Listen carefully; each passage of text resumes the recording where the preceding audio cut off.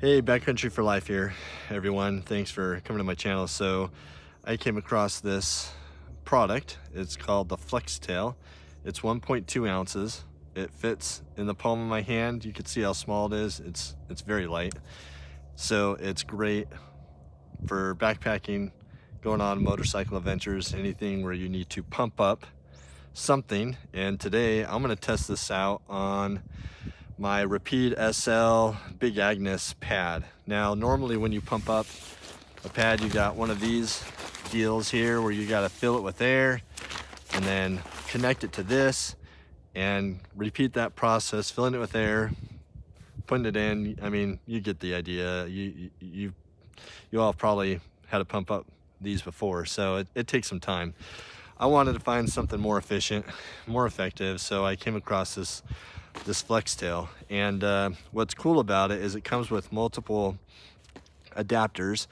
I've already checked and these two adapters fit the Rapide SL bag that I have. But if you have a different type of bag from a different manufacturer and the, the hole is different, the size, then it comes with a whole bunch of different size adapters, which I think is, is really cool. So Today what I'm going to do is I'm going to just see how long it takes to pump this up and I got my timer on my watch and I've fully charged this so it's ready to go. I have never pumped up this bag before. I've never tried this product before so today is let's try it out.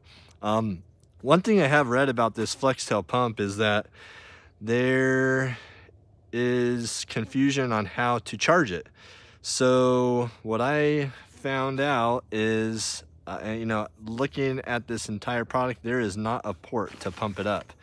So it's a little tricky, but what I found out is when you open this deal, there's a battery and that battery actually has the port built into the battery, which I think is pretty cool.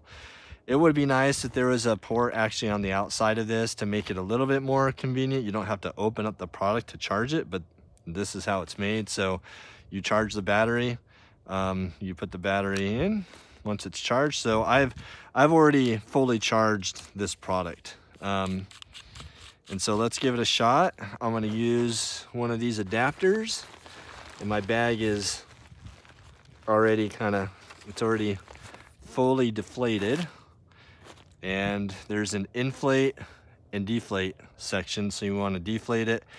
Once you get all the air out i wouldn't use this to suck out all the air the in your pad. I would kind of push out all the air first and then use this to suck out the rest of the air to really tighten it down. But let's give this a shot. Inflate you just sit it in there and let's start the timer. Let's go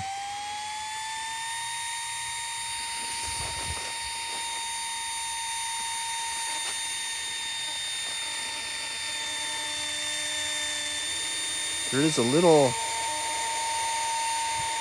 kind of, I don't know, crunchy sound coming from it, but it's pumping. And uh, you can see there how it's pumping it up.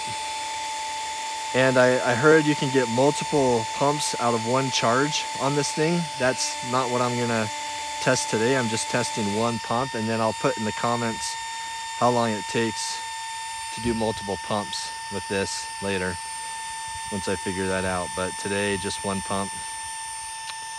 And uh, right now we're at 50 seconds. Here we go, you can see it working. And oh, there's still some crinkles. Let's see if we can get out some of these crinkles.